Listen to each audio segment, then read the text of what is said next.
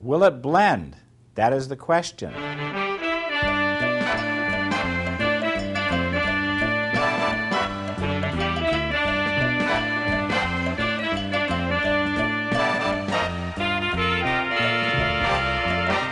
I have in my hand a piece of boron steel. This is really strong steel.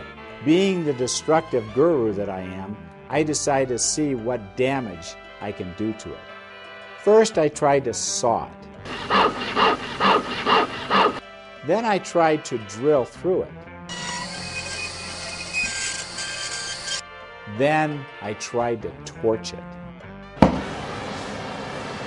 I even jumped on it.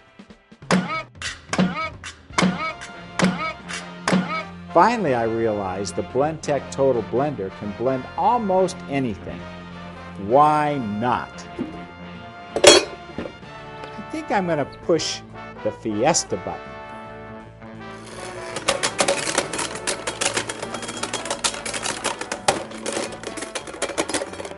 Ah.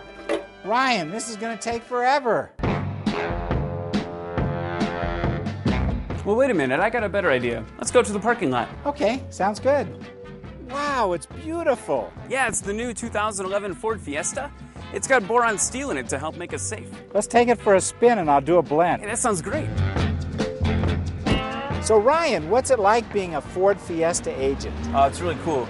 And the Ford keeps me really safe with the uh, boron steel. Protects me from some crazy things that might happen on the road. Hey, what do you have to blend up there? Oh, I got lots of stuff. Good. Uh, let's see. Here we go. I got some cars that weren't made with boron steel, so maybe they'll blend. Oh, sure. And then I got uh, little donut Donut. Oh, That's yeah. good. Donut.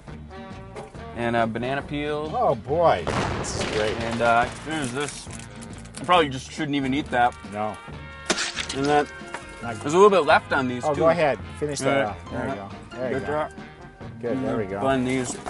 It's a chicken These bones. CDs are really horrible, so just blend those. Boy, I wish I had some ice. As a matter of fact, I've got some right here.